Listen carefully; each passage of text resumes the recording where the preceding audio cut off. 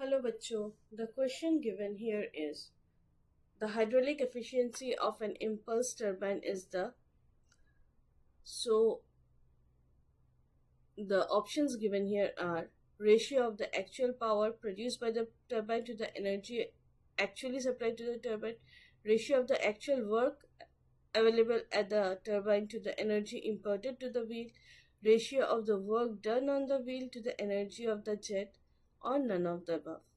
So there are different types of efficiency of an impulse turbine. Out of that, hydraulic efficiency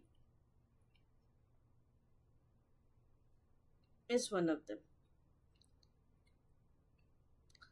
And hydraulic efficiency of an impulse turbine, it is a ratio of the, by definition we know that the uh, answer will be, it is the ratio of the work done on the wheel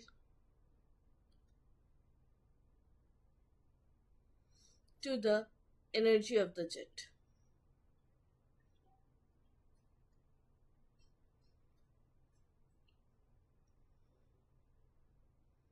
So the correct answer here will be option number C, ratio of the work done on the wheel to the energy of the jet.